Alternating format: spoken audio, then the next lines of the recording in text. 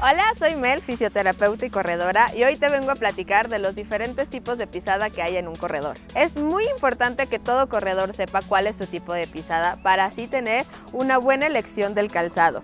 Eso te ayudará a evitar lesiones y a tener un mejor rendimiento en tus entrenamientos y carrera. Si no sabes cuál es tu tipo de pisada, no te preocupes, yo te voy a dar unos tips para que sepas cuál es y también te voy a recomendar algunos tenis que te ayudarán en cada tipo de pisada. 1. Pronador. Es cuando el pie cae con la parte externa y a la hora de dejar caer el peso, el pie se va a pronunciar hacia adentro, hacia la zona del arco del pie. Para este tipo de pisada te recomiendo los ASICS Cayano 28 que tienen un drop de 10 milímetros, un peso de 308 gramos y su tecnología lo hace buenísimo para la resistencia y la amortiguación. Al probarlos Cayano se siente muy buena estabilidad, tiene muy buena tracción, tiene buen agarre, el diseño está increíble, sin embargo a mí sí me incomodaron un poco ya que mi pisada no es pronadora, entonces sí lo sentí un poquito incómodos. 2. Neutra. Es cuando el pie cae con la base externa y a la hora de caer el peso se queda completamente distribuido en toda la zona del pie.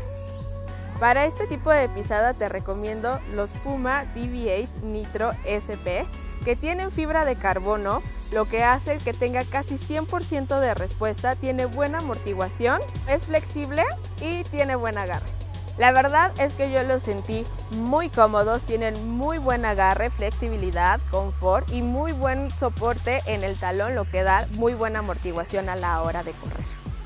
Los recomiendo para distancias de 5 kilómetros hasta un maratón. 3. Supinador. Es cuando el pie cae con la base externa y el peso se queda en la zona externa del pie.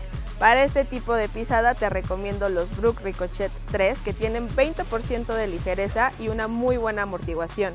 Tienen un drop de 8 milímetros y un peso de 238 gramos. Son ideales para el asfalto y una opción perfecta para correr el maratón.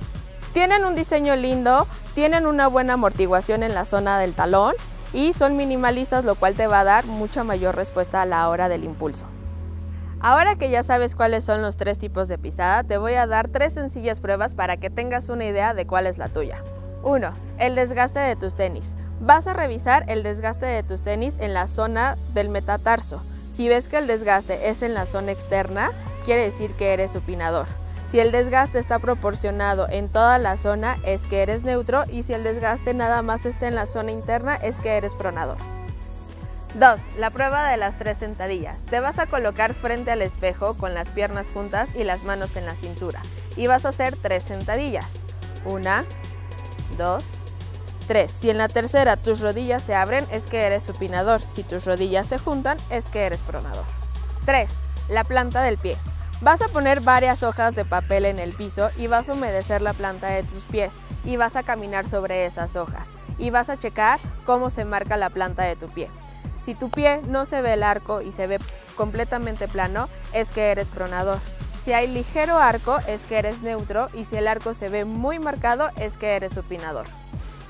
Por último, es muy importante saber que estas pruebas son relativas y te pueden dar falsos resultados. Mi recomendación es que acudas con un profesional donde te valoren bien cuál es tu tipo de pisada a la hora de que estás corriendo. Espero que esta información haya sido de mucha ayuda para ti y te ayuden a prepararte para tu próximo maratón. Recuerda que estos modelos y muchos otros más los encuentras en tiendas Martí o en martí.mx. Yo soy Mel y nos vemos en la siguiente cápsula.